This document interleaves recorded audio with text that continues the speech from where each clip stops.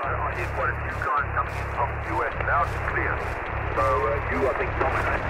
But uh, told you. Welcome to EmComm Solutions, Jake here. So, you know, my obsession with Meshtastic started over two years ago, and you know, this recent year here, 2024, as we get towards the end of the year, has really been a big year for Meshtastic, and the market has responded to that demand. Whether it's the big companies like RAK and uh, LilyGo or Heltec, which really hasn't done a full off-the-shelf ready radio, or at least the way I would consider it but many small businesses have collaborated with, like Rokland has collaborated with, or small, real small, like in your garage type small companies have responded by developing radios that you could buy and basically have shipped to your home and they're ready to use. Uh, the company we're going to talk to, about today is Nordic Develop, Development Industries LLC. Some may be following uh, the Instagram channel of Midwest Mesh Lab, which is, I assume, the person behind the company. And they are creating a ruggedized off the grid radio. We're going to focus on the PV1 Dart radio, but we'll take a look at some of their other products just so you know what they've got to offer you and then whether or not I think it's worth buying their product. So let's take a look. So I'll start over here looking at the PV1 Dart and then we'll just take a quick look at some of the other products they offer. Uh, but the Shopify account, uh, I'll just put a link here in the video for that and then down below. Uh, so if you want to go check it out yourself, you can go over there. They just rolled this out. They got pre-order on one of their products and then this one is available. I will note, just like a lot of small businesses, a lot of things are built to order. So they don't just have a shelf full of these things. So you need to add uh, account for lead time. So I think it does say that four to six weeks lead time. So if you're trying to order this for an upcoming whatever, uh, take that in account. So the DART prototype version one, that's what the PV1 stands for. The DART is decentralized austere radio transceiver, right? So this is the parts list, what they're going to talk about, but you can see it's got a luminized case. We'll talk here. Parts is 950 megahertz LoRa radio, the latest stable Meshtastic version a IP66, which is ingress protection uh, aluminum enclosure, which is more than sufficient for probably 98% of the people that are going to be using this. It's got an on-off switch, which is outstanding. You can save that uh, battery life. The cable, the USB-C cable that's on the top is an IP67 setup. LoRa antenna, you have the option of the ZB-M2 or other, which is the gooseneck tactical one that probably the same one that Rokland's selling. I've seen quite a few of them out there. Honestly, I'm not sure if I'm, I haven't tested that antenna yet, but it's pretty bulky. Now, if you're carrying on body somehow, like you're wearing some sort of kit or something, sure it might work okay.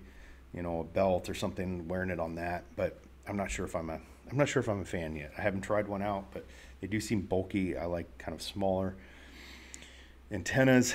GPS is integrated into the system, Bluetooth, and a 300 milliamp hour battery, which should get you at least five days of runtime, probably more, depending on how you're operating it. And of course, you can charge it via the USB-C there on the top.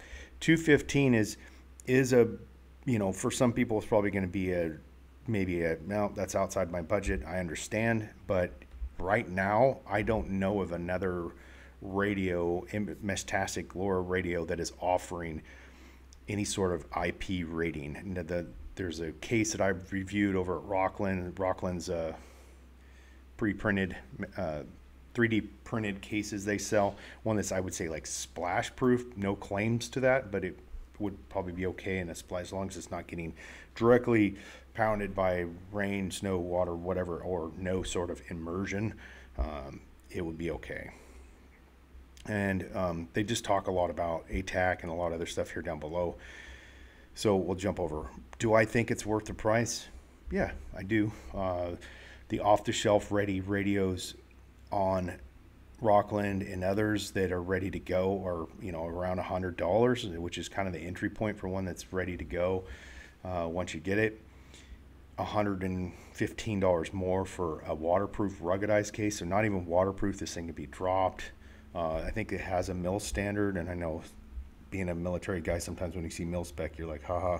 But um, but there is actual standards there for dropping and whatnot.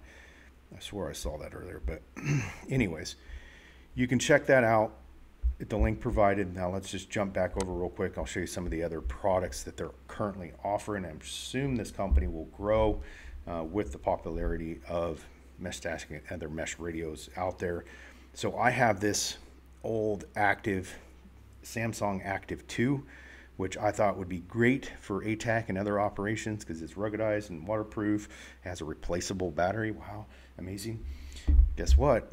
It's old enough that the Play Store's version of ATAK doesn't work, won't load. I tried side loading. I have not had any success with that. The the internal specifications, you know, may not work with ATAK anymore. Um, so, but he has an ATAK enabled phone, which is a Samsung phone with the replaceable battery. That's a cool feature. And then the rugged, uh, the the Samsung, I think it's yeah Active Four, right?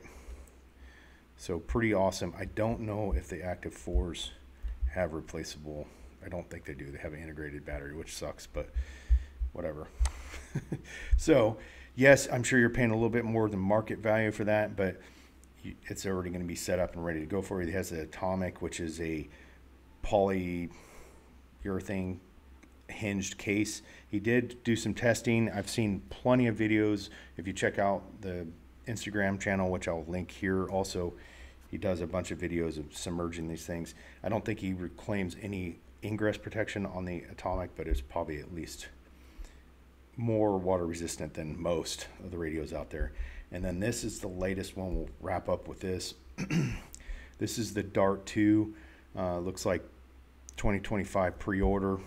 It is significantly more, but it's going to be, there's a prototype. I would assume this 3D printed case is a prototype case of probably what he's going to have developed um, to make it a more compact radio but offering a lot of the features that the, the PV1 offers. So, but a smaller package. Oh, and an external GPS, which might significantly increase your uh, capabilities there. This one is going to be mil standard 810 tested. Okay, so they're definitely going through the paces on this. That explains the price. So very cool. I just wanted to highlight this. You can check this all out yourself with the links I've provided.